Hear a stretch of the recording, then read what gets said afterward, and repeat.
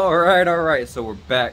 Mask is gone. It's not too bad in here. Go ahead and flip the camera for you guys. So it's just laying on, it's drying slowly. Um, and I'm just gonna keep going with it. I got one more can. I'm thinking with the one last can, I can get both doors. That's all that's left is this door and that door over there. And then obviously whatever's left, I'll go through and double coat everything. Now obviously keep in mind, this is all getting wet sanded down.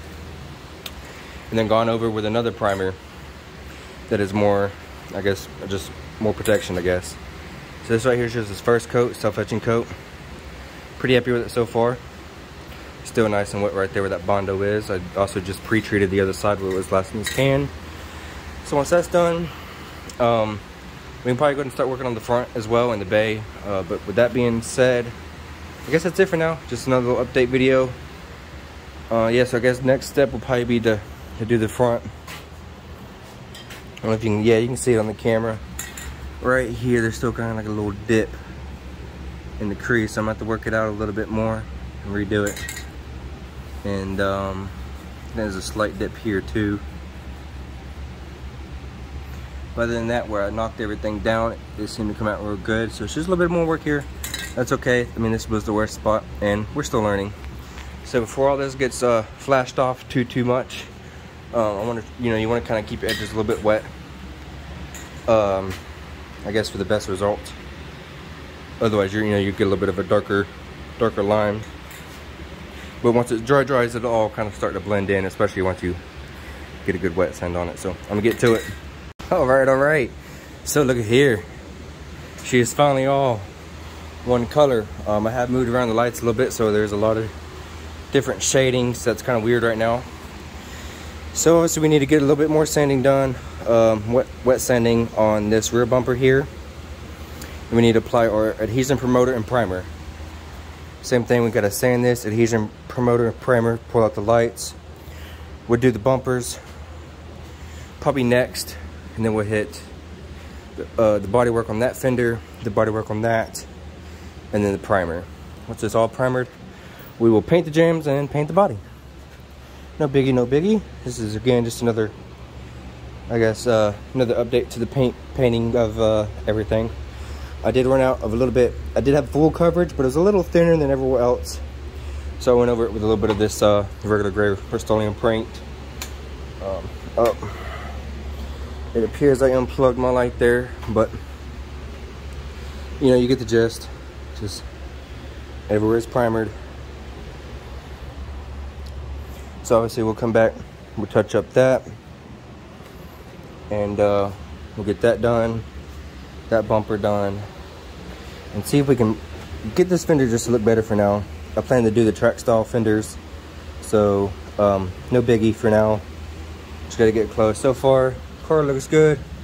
Truck looks good from here so I don't see any spray everywhere. These three fans seem to be doing pretty well. I literally just finished spraying so I guess that's that for this part. Um, I am going to wet sand those and get a couple more coats on them because that right there's mostly an overspray coat on the handles.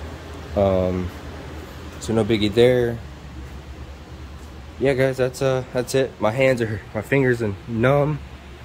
I uh, went through all our full cans, so probably five cans would have been good.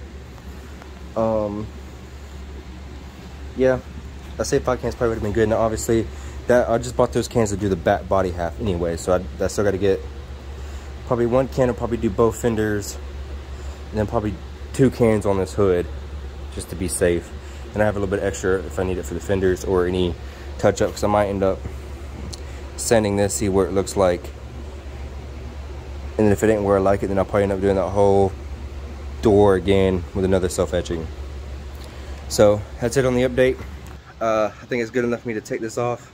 It is uh, scorching in here, guys. Yeah, look at all that I I did not. I got some. Yeah, painting's uh definitely some dirty business that uh guys. No, I don't really have anything too too. There we go. That makes a shows you some sort of difference. Um. So yeah, that's it. Painting is a dirty business. Definitely don't do it with any type of clothes that you like. Um, definitely wear mask. I probably should have used some sort of eye protection uh, for the priming. Um, I will be using eye protection when I do the actual spraying of the car. Just uh, kind of excited, got carried away with it. I'm okay, just a little sticky right here. Other than that, I, I think I'm okay.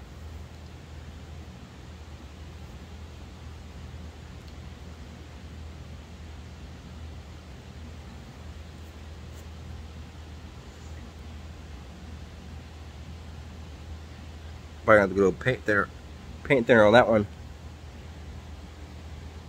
Because it is on there. So, uh, definitely use the best protection you can get. I like the little plastic filter or the filters that's like that one, but it's got the little plastic piece in it. Like you don't get as hot with those. But if you're going to be painting the car, even if you're priming, whatever, I do recommend the double-sided respirator that's made for it. You can use them a couple times. I have one burning in the bag. I just, for some reason, I seen that sitting right there, grabbed it and put it on and started spraying. Um, I should have got the right tools.